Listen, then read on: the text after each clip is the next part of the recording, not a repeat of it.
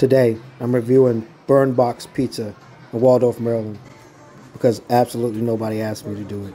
Nobody's waiting for this video. But this is my Keith Lee impersonation.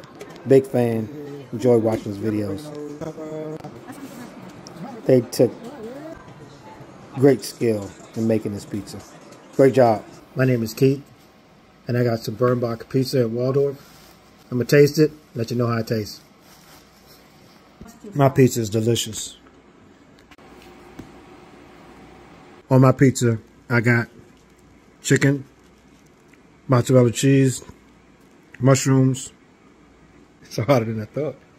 Mozzarella cheese, mushrooms, uh, red red peppers, and um, some butter sauce and um, and um,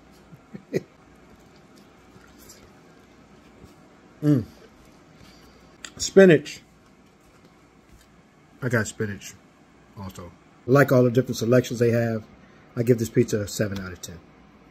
I give this pizza 7 out of 10. Very good pizza. Very, very good.